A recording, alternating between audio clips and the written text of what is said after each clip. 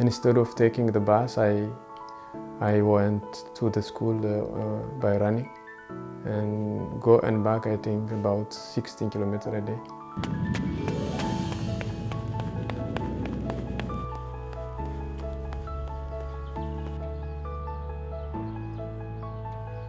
I felt like a, a human being, like um, a normal athlete, like uh, I didn't feel like a refugee.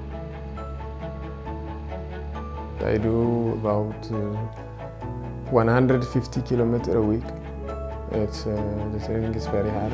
After Rio, it was it's a bit uh, more hard training and because I'm more motivated with uh, the Olympic um, solidarity sport.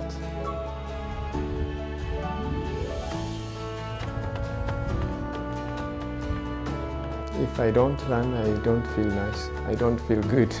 Uh, it's a kind of, I think, a kind of drug, but it's a nice drug.